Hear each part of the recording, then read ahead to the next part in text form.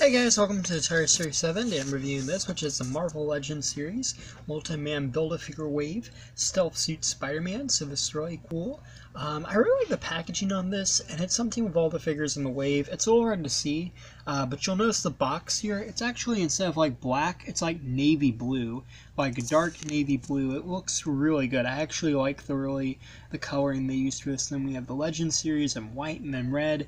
Then we have the red Tom Holland Spider-Man logo, which looks really nice up there. Build-A-Figure Molten Man. A nice clear view of him in box, and we have Spider-Man Far From Home and Spider-Man written there. On this side, we have some really cool artwork of him swinging in the stealth suit. I absolutely love the stealth suit. I think it looks great. And on the back, we have a bigger picture. We have the Holland emblem back there again. We have a bio on Spider-Man, his new costume. We have the other characters in Wave and Molten Man. Now, I'm going to be reviewing Mysterio, uh, but I'm probably not going to be reviewing anyone else from this wave or the Build-A-Figure. Because, quite frankly, I think Molten Man looks awful. I absolutely hate this Build-A-Figure, I am not gonna lie. And the big thing about this that I really hate is just the proportions on this guy. Like, he has one small leg, one small arm, and then one giant arm, and one giant leg. It just looks weird. I know that's how it appears in the movie, but it's still just really weird to me, and I don't like the proportions on it at all. But yeah, so uh, let's open this up. So, here we have Spider-Man and his stealth suit from Far From Home, and uh, definitely looks really cool. Um, but yeah, the stealth costume, I absolutely loved in the movie, very neat or I guess Night Monkey as it's referred to in the film. Um, just really cool looking, really awesome. Definitely looks like something Shield would make.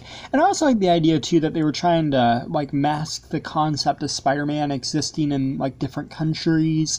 That way, you know, like no one would suspect Peter. I thought that was actually pretty smart because honestly, before the movie had came out, when we had seen the trailers, I just kind of found it annoying that you know no one was bringing up why Spider-Man's following them all around. So I'm glad the movie addressed that, and I really like the look of the costume. The details on the face are nice. I've always loved like that has the silver kind of lens. I don't think it actually had these in the movie. I think they just had the standard white ones, but I like the silver lens. They were on some of the other action figures in this wave, and I kind of wish they had included it, but it looks nice. And I love the detailing on the mask. It's almost like a regular mask. Looks a lot like Spider-Man Noir there. Uh, very cloth, very cool looking. I do like that very neat. And then he's got his collar, which is cool, and you kind of see how it zips up like that. Uh, here's where like kind of feels like an emblem would be. I wish they had put the shield logo there. That would have been pretty cool if they had. But nonetheless, it's neat. It's got some lines. I like the belt too. You'll notice these little pockets on the side of it that are pretty cool.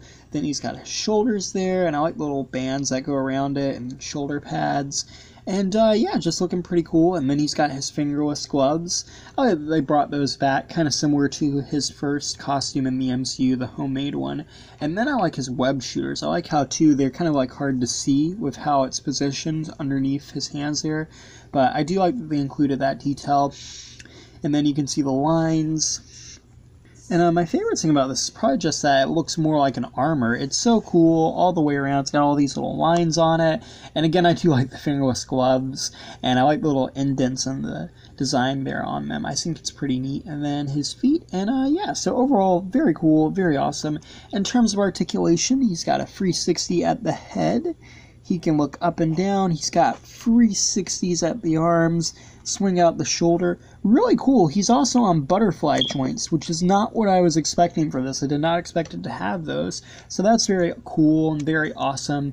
You got a 360 there, double jointed elbows, 360 at the wrist, and they're on hinges ab crunch goes pretty forward, some back pretty far, and you got or 360 at, well, yeah, you got a 360 at the torso, a little stiff at first. Legs come forwards, backwards, and outwards. You have a 360 at the thigh, double jointed knees, which is nice, and the feet move up and down, and they also rotate. So, in terms of articulation, it's what you probably come to expect from Marvel Legends. It's very good, very nice, and the detail on it is really nice as well. Now, as for accessories, um, you do get the Molten Man arm, which I did want to show a size comparison with this. It is way taller than Spider-Man.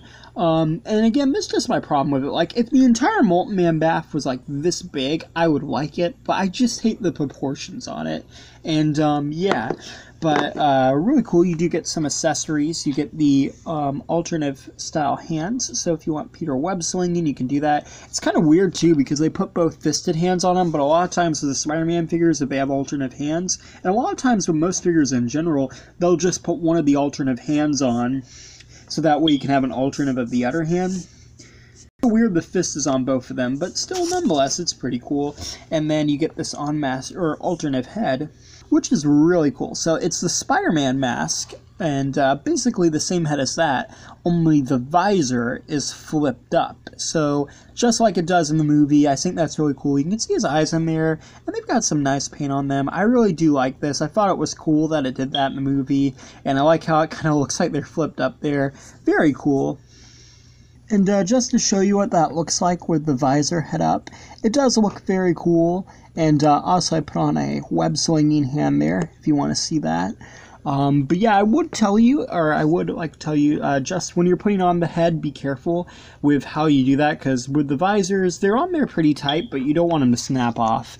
So overall, I think this is a pretty great Spider-Man action figure. Um, it's really neat. I like the suit, and definitely recommend it. I think it's cool. If you like the suit movie, definitely worth picking up. And uh, it's a big departure from the standard Spider-Man suits. I know a lot of people have had different opinions on it, but overall, I like it. I think it's pretty cool. And uh, yeah, thanks for watching. Please rate, like, and subscribe.